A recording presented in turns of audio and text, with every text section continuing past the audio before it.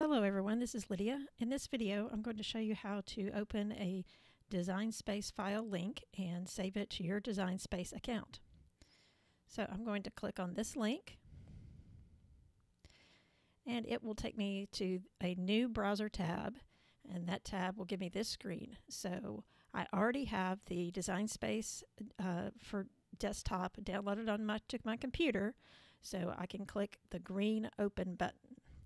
So it will create a dialog box that asks me if I want to open Design Space, and I do. So I hit Open Cricut Design Space. So it will open the program that's already installed on my computer. I'll make the window smaller so you can see it. Oops. So in this uh, here I have the option just to make it right away. But if I don't want to make it right away, I can just hit customize. And that will open the project on my canvas.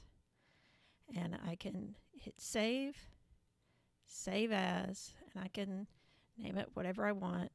Or I can just leave uh, Cindy's name in there. Uh, I can put her name in there and hit save. So later, when I decide I want to make it, I just go to my projects and it'll already th- be there.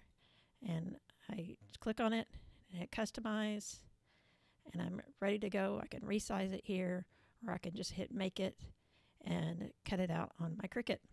I hope this helps. Thanks for watching.